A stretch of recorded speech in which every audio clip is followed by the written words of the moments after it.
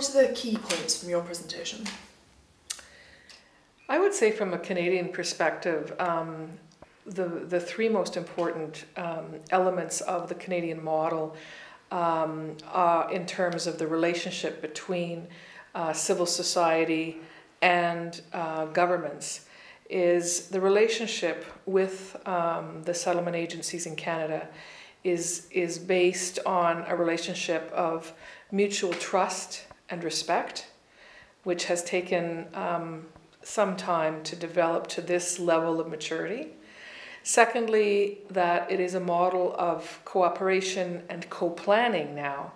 very important, which also uh, uh, needs to be built in, in on that uh, trust and respect. And finally, um, more recently, um,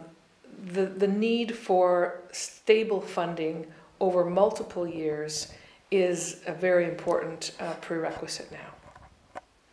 And how does your work with civil society support the vision that you have in Canada for a whole society approach to settlement and integration?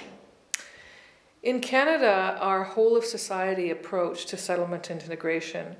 is based on the fact that we expect all the players in the country um, federal, provincial, municipal governments, um, our um, network of more than 500 settlement agencies across the country, uh, the private sector, as well as citizens themselves, um, to all play a role in settling and integrating newcomers. But I must underscore that the, the role of the settlement agencies, because they deliver um, more than $1.2 billion